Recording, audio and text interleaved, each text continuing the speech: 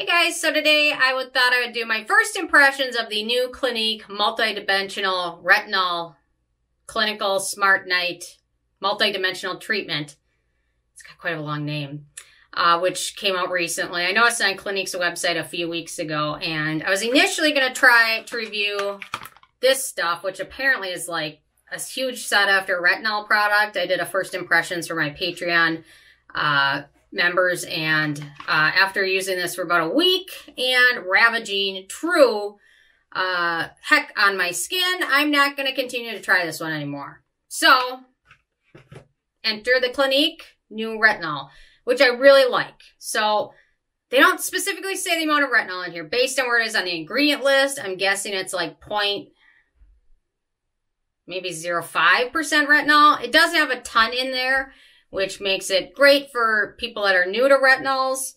So if you're newer, but still start out slow. Don't start out too fast. So I really like the texture of this one. So it's a little pricey, although if you buy it directly from Clinique, I got it uh, before Christmas time. So I think I got it for like 30% off, but it's really hydrating, which is nice.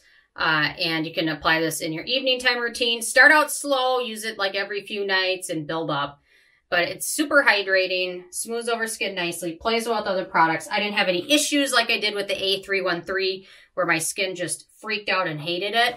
But this one is a great retinol because it's got a lot of other ingredients which are great for soothing your skin, which is a good, a sign of a good retinol. Retinols can really wreak havoc on your skin. I'm going to do a ingredient uh, spotlight on retinol this week, so be sure to check that one out uh, talking about the different types of retinoids and retinols and uh, side effects and things like that. But this one's great. So if you start with a good formulated retinol, it really help the process. So this one's got a lot of good hydrating ingredients. It's also got niacinamide in there, which is nice. They've got their algae extract, which they always put in everything. Uh, we've got St. Paul's wort, which is also in everything. We've got mango seed butter. They've got coffee oil, sodium hyaluronate, which is in everything, which I'm getting annoyed of seeing, by the way caffeine, ascorbic acid, urea, squalane, uh, wheat germ extract, vitamin E, linoleic acid, barley extract, sorbitol, hexapeptide. So overall, Clinique products, in general, I find them to be a lot hit or miss. They tend to generally be fragrance free.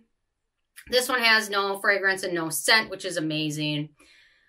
But Typically, when it comes to like the backup ingredients to some of their products, they don't get so exciting. This one is. It's got a lot of other good ingredients, which are going to soothe your skin and hydrate your skin, which is really great and key when you're using a retinoid retinol product to have a routine with other good hydrating and soothing ingredients. And this one fits the bill for all of that.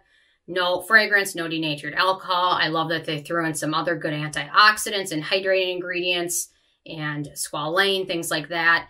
So I must say, this one, they underpromised and over-delivered, which is what I wish all skincare brands would do. Instead of sunscreens that overpromise and underdeliver. And if you know what I'm talking about, you probably do. But I wish more brands would do this. So thankfully this time, Clinique underpromised and over-delivered. So I'm very impressed with this one.